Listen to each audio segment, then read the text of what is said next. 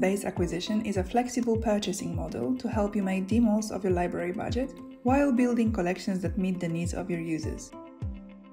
For an upfront fee, your institution will have access to all of IOP Publishing's completed ebooks collections for 12 months. At the end of this period, you can select which ebooks you would like to keep based on real user statistics.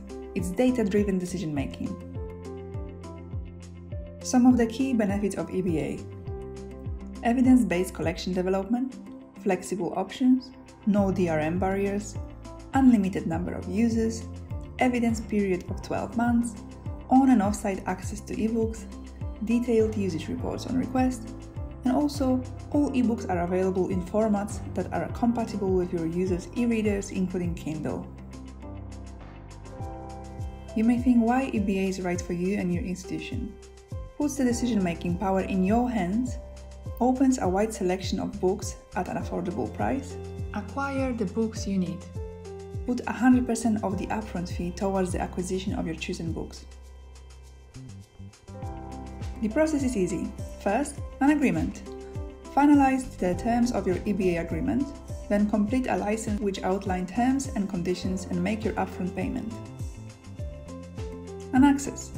Ebooks are open for reading, usage begins to be measured. Finally, you can choose. Usage data is provided at the end of the agreement period. Working independently or with help from your regional manager, select the books you want to own in perpetuity. Your prepayment will be applied to your purchase.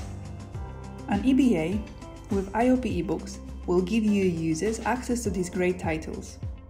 Butterfly in the Quantum World, the story of the most fascinating quantum fractal, Effective Science Communication, the second edition, Creativity for Scientists and Engineers, Beyond Curie Four Women in Physics and Their Remarkable Discoveries. Maximize your budget. Contact us about the IOP eBooks EBA option. You can contact your dedicated IOP Publishing Regional Manager at ioppublishing.org/contact or email the library relation team at library.relations at ioppublishing.org or you can go to iopscience.org/eba.